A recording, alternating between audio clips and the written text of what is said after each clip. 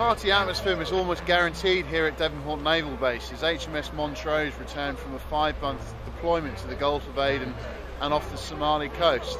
Uh, as you can see, hundreds of people have turned up, braving temperatures down as cold as minus four uh, to witness the occasion and to help celebrate the success. And what better Christmas present could they really hope for than the arrival of their loved ones after five months away? HMS Montrose has been away at sea since August. This has been a successful anti-piracy deployment for the Type 23 frigate. Not only did the crew destroy pirate ships, it also helped rescue sailors from the clutches of pirates. The Royal Marines Band added to the festive spirits, playing Christmas songs. But for these families, the best Christmas present of all is having their loved ones back home for Christmas.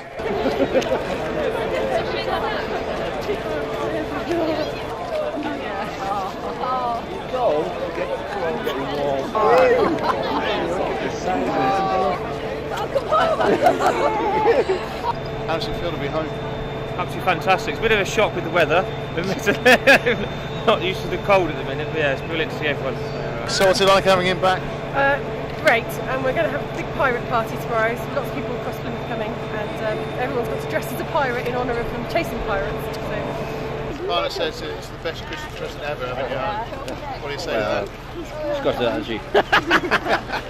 That's good for you. Good to be Uh, achievements on your deployment? Certainly, we've had some really tangible successes there. Um, not only the destruction of two pirate vessels, denying the use of those to the pirates to attack further vessels, we also released the crew of a German uh, merchant vessel.